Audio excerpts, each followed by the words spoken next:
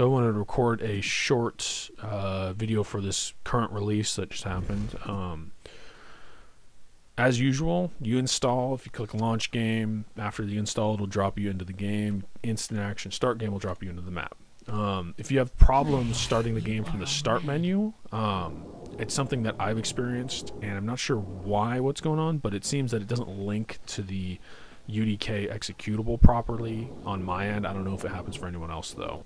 Um, so if you do have those issues, you'll have to find the executable in the game install folder, which the default location it is C UDK um, binaries, and then you're going to look for uh, I believe it's 32-bit or something in the binaries folder. There's there's another folder that has the 32-bit executable, and it is labeled uh, udk.exe.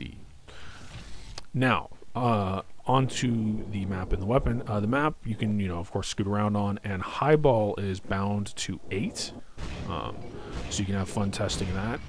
And otherwise, that's it for this video. If you have any questions or comments, you can post them in the YouTube comments page, or of course on the game forums. Um, I should end this saying that this is not a net play test. Uh, the net code is still in the works, but if you if you're with friends that are you're regionally located close to each other, you can host a server and it'll play fine normally.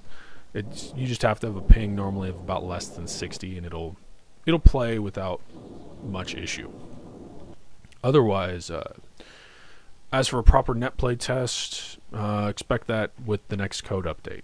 And that's it for this video. Thanks for watching.